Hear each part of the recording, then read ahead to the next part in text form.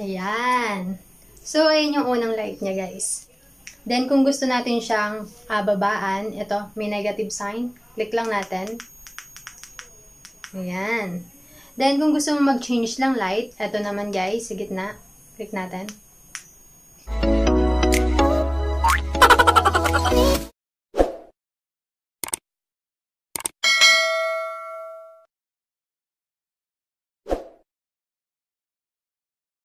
Hi guys! Welcome back to my channel. So for today's video guys, samahan nyo ako para mag-unbox ng ring light. And paano to i-assemble. So tara!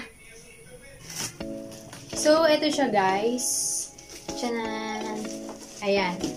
Bali guys, uh, in-order ko to sa Shopee last week. Then dumating siya kahapon. Ayan. Pero parang wala pa yung mga 6 days lang ata dumating siya after ko siya i-order. So ayan. Nasa 600 plus ko siya pero ginamit ko guys yung coins ko para mas ma-less yung babayaran ko.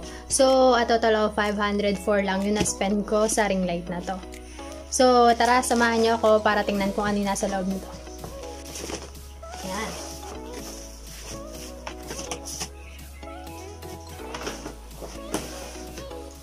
Wow!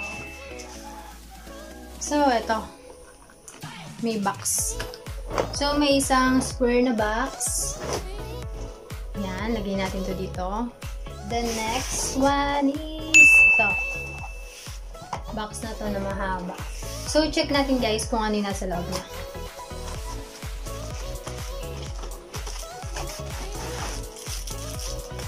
Wow! Wow! Ah, diba? So, ito guys yung tripod niya. Sa pipinag. And then, check natin yung box naman na to.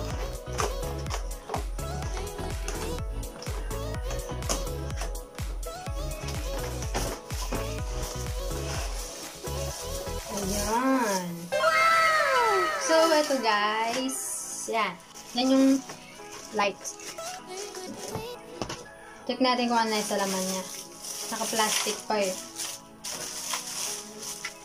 So, ito guys, yung ring light. Yan. Tapos, nandito yung switch niya. Ito yung switch niya, kasama dito. So, yan. Ito yung parang sa stand ng phone para naiikot-ikot siya. Ganyan. Parang yung X mo lang, napaikot ka. Parang yung X mo lang, napaikot ka. Joke lang. So, ayan. Then, meron siya, ayan, parang antena.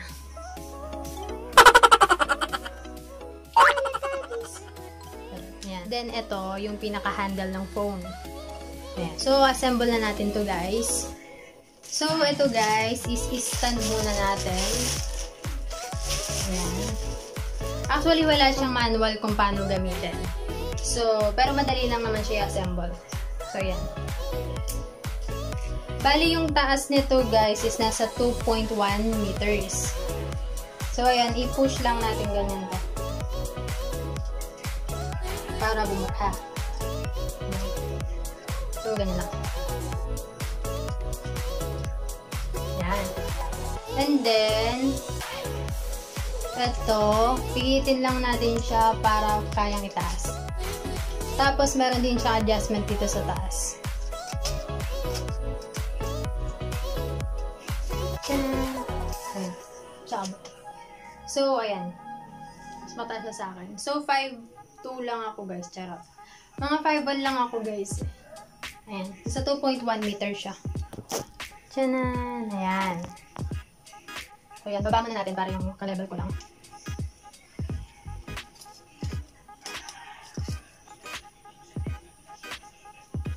Ayan. Pihitin lang natin, guys, para mahigpit.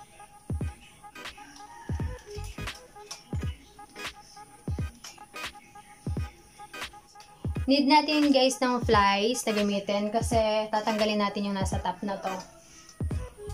Ayan. Meron siya sa top eh. So, tatang ito tatanggalin natin. Ay, hindi na pala. so, ayan.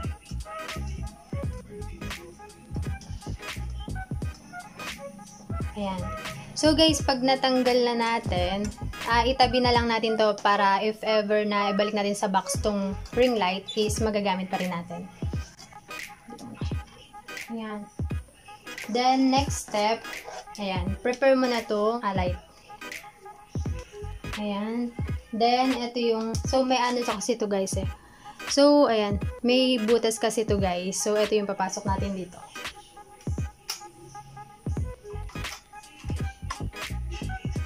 Ikot-ikot lang, ikot-ikot. So, ganyan.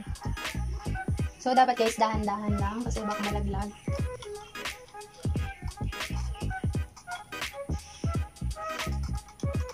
Tanan! So, yan siya. Kada mataas, medyo adjust ko pa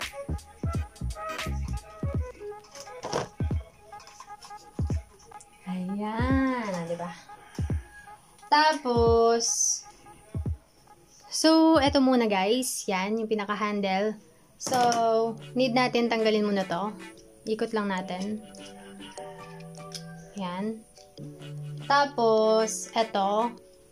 Yung mahaba naman ito guys, sa parang antena is ipapasok natin dito. So, dapat may konting force. So, ayan. Para, kasi ito yung magiging handle natin sa camera. So, ayan. Para nagagalaw-galaw. Then, ito naman, yung takip niya kanina is ipasok natin dito. Then, ilock natin.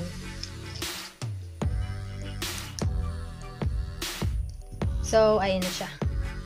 Ayan. Kung gusto mong medyo, ano, medyo gumagalaw-galaw. Pero mas maganda mahigpit siya. So, yan. So, pag na-set up mo na to, next naman natin is ito. Hmm, ito, gumagalaw-galaw na yan. Kasi ito yung ah, nagpapaikot-ikot mamaya sa cellphone natin. So, yan.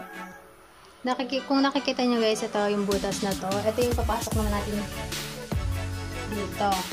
May butas din kasi ito sa ring light. So, dyan natin ito ipapasok. So, idulo muna natin. Sagan muna natin to sa dulo. And after nun, insert mo na to. Then, ipaikot.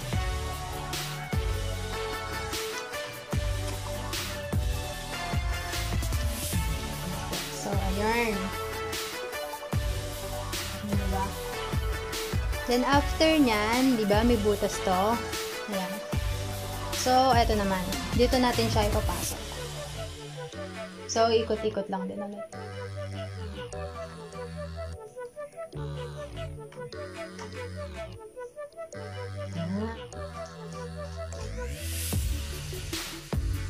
Yan. So, ayan na guys. Tapos na natin i-assemble.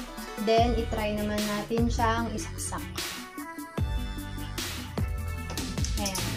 So, bali guys, yung pinakasaksakan niya is ito. Pang USB lang. So, since guys, naka-USB lang siya, so pwede natin siyang saksakan ito.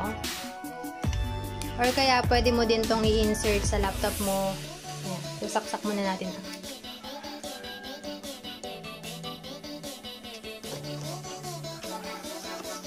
So, para matry natin guys, is ipinatay ko muna yung ilaw sa kwarto namin. So, i-switch ko yung on.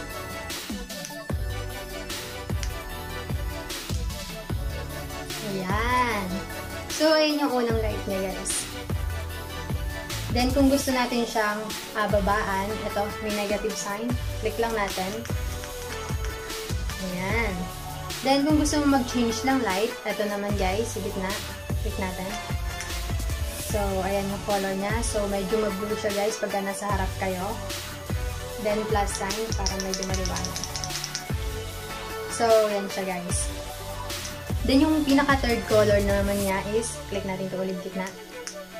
Ayan. Ito yung pinaka-warm color ng uh, ring light natin. So, yan. So, kung gusto natin i-add ulit, click lang natin. Then, kung gusto bawasan, so, yan. Ah, diba? Lakas makaganda. Ayun guys, uh, napakasulit na tong ring light na to. Ayan, napaka-affordable. 504 pesos. At saka maganda niyan guys is magagamit natin siya for vlog. Ayan, kasi guys, uh, madalas na ginagamit ko lang nun sa pag-vlog is yung pinakailaw lang namin dito sa room or kaya dun sa may labas. So, since may ganito is malaking tulong talaga para mas maganda yung effect natin sa camera. So, yun na guys. Thank you for watching this video and sana may natutunan kayo. See you in the next video. Bye-bye! Patayin na natin.